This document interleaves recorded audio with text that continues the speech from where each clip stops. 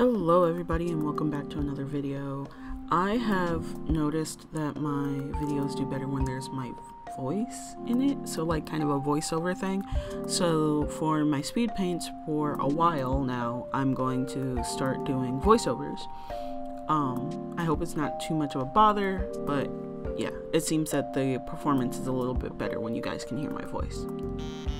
Anyway, today I am doing a fan art piece of Creepie from Growing Up Creepie, which is a show that I watched near religiously when I was a preteen.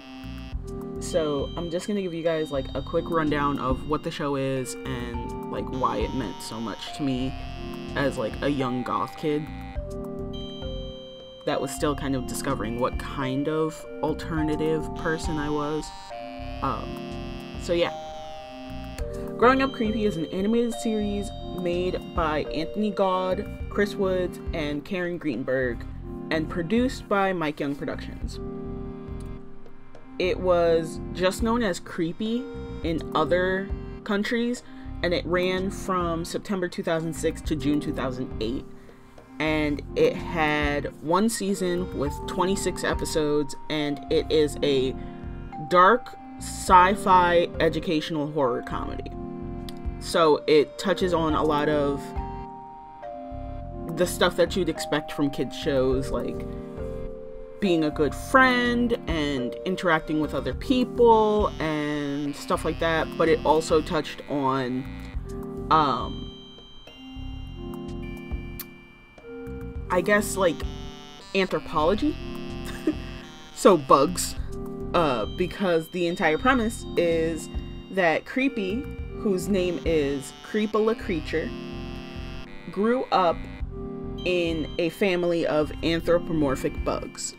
She was an abandoned infant on the Dweswald mansion, and the bugs took her in and raised her. And as she grew up, she had to learn how to interact with other human beings again, which took a bit, but eventually she started to get it um, so the school that she went to and the people that the humans that she was around were all like entomophobic, which means that they were very, very afraid of bugs. Um, and it kind of it kind of played into her having a hard time with other people because she was raised by bugs and she really liked bugs and she had no issue like dealing with bugs and creepy crawlies and stuff like that. But the people in the town did. And it seemed like everybody in the town had an issue with it. So there are the main characters are creepy creepy creature. She is a gothic preteen girl that was raised by bugs. She was born with multicolored hair and she comes off as really, really sassy and really snarky, but she's really just a sweet kid with a heart of gold. Uh, her mother is a praying mantis named Carolina, and her father is a mosquito named Vinny. And those two are loosely, loosely based on Morticia and Gomez Addams. Loosely. Uh, she has two brothers that she is constantly interacting with, Nat and Paulie. Um, her best friend is a chubby black boy named Budge Bentley, and her antithesis friend, so the friend that is her exact opposite in a lot of ways, is Chrysalis Holly Runner. She's a cheerleader, she's very preppy, she's does karate. She she's like very high energy. um and then there's a bunch of other uh characters like parents and uh cutaway characters and characters that show up in like one episode and stuff like that and each episode had like this very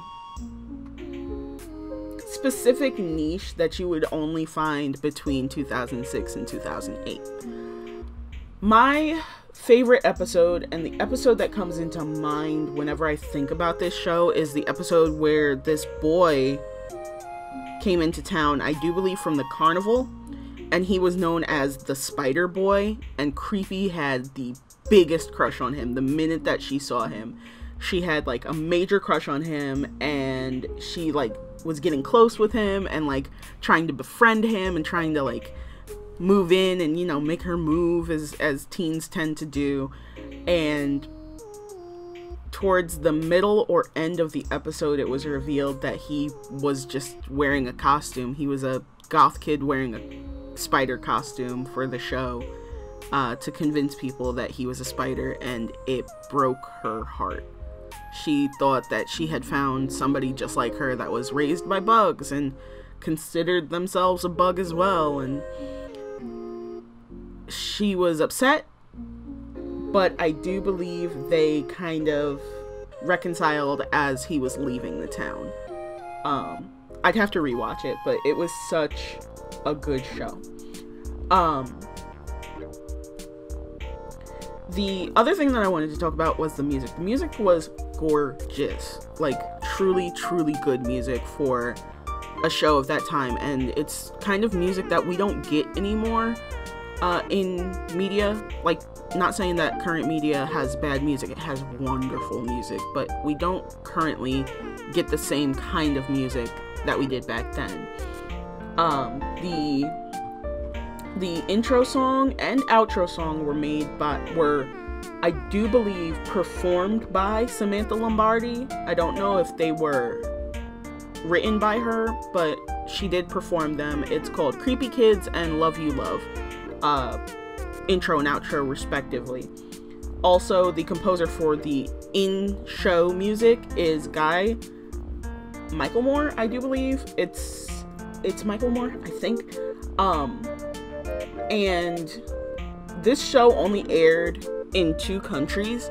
It aired here in the US and it aired in Canada. It was originally a Canadian show, I do believe and then kind of like came here after a little bit and then it kind of went to Australia after it was um after it was aired here and in Canada.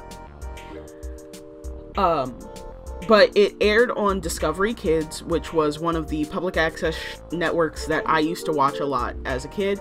Um it was only public access for a very short period of time and then you had to have a cable box and it became a whole situation. But it was what i used to watch even when we had cable either that or we were able to just siphon some cable from somebody. I don't know. I remember watching uh watching it when we didn't have cable boxes and then watching it again when we did have cable boxes repetitiously um discovery kids and pbs were like two of my big go-to channels um, I loved Nickelodeon, I loved Cartoon Network, but my two big go-to channels for cartoons was PBS and Discovery Kids.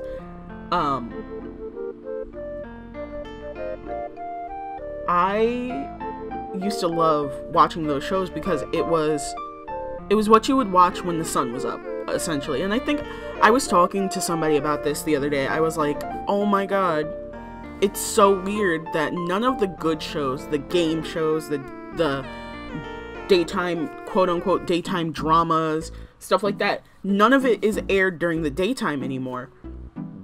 And it feels weird because I guess as you grow up, you kind of get that weird sensation of, wow, I'm actually growing up and this is strange. Because now I can't watch my shows during the day because I'm working during the day. And even on the weekends, those shows are not on. And then we have this like uptick of streaming services, and it's just. Uh, it's a lot. It's a lot emotionally. Um, and mentally to kind of wrap your head around especially for somebody like me that has like neurodivergencies and whatnot that it's hard to wrap my head around that. But back to the topic at hand i have always loved Creepie. I've had a like big heart for Creepie.